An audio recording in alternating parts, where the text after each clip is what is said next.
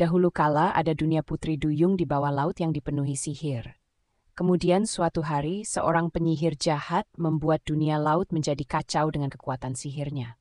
Pelindung laut, Ratu White Gold yang agung menjebak penyihir jahat di kedalaman laut dengan permata gelembung yang mengumpulkan sihir dari tujuh kerajaan laut. Aku akan menyegel permata gelembung itu agar tidak ada orang jahat yang dapat menggunakan sihir lagi. Setelah itu, tidak ada yang dapat menemukan di mana permata gelembung itu disembunyikan.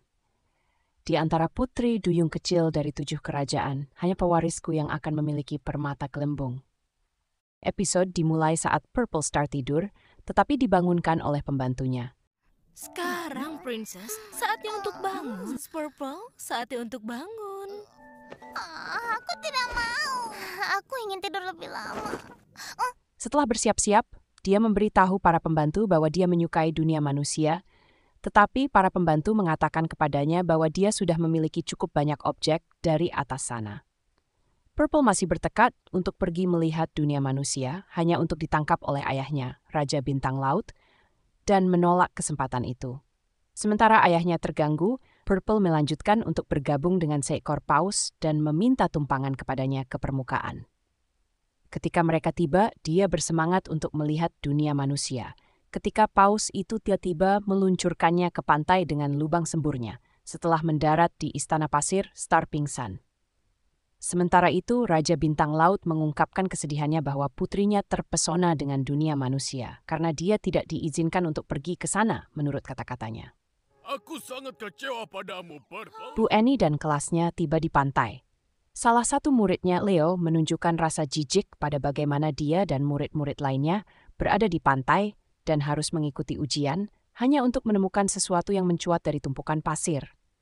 Objek itu, yang ternyata adalah ekor Purple Star, ditarik kembali, dan Purple keluar dari tumpukan pasir, kagum pada bagaimana dia tiba di dunia manusia.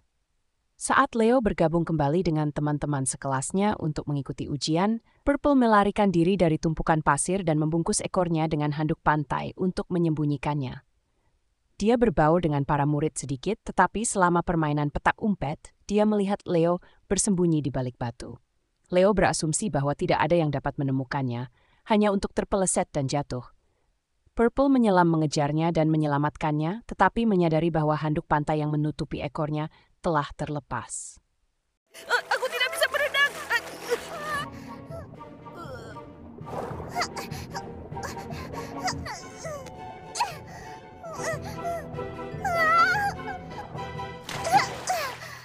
Saat dia mencoba mengambil handuk itu, Purple terperangkap dalam jaring ikan. Saat dia menangis, permata gelembung hancur, dan peri permata gelembung bernama Pink Star muncul dan bergabung dengan Purple. Pink Star menggunakan kekuatannya untuk mengubahnya menjadi manusia, dan dia membawa Leo kembali ke teman-teman sekelasnya.